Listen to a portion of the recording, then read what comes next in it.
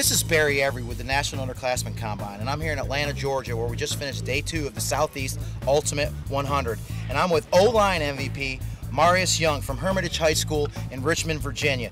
This true center came in at 6'1 and a half, 265 pounds, 22 and a half inch vertical, 5'3", 40, an amazing 465 shuttle, 24 reps of 185 and an 85 broad jump. Now you might not know this, but I've been doing this since 1995 and those are excellent testing numbers for an offensive lineman. Now Marius, what can you tell people watching this that you really enjoyed about the Southeast Ultimate 100?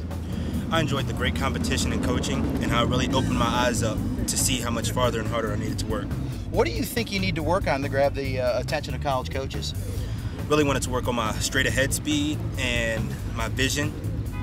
I think it would be great if I could work on my hand placement as well.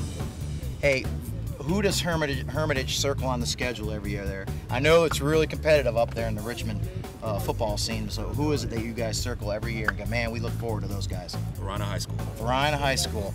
Hey, well, we hope you can make it to top performers in Oklahoma.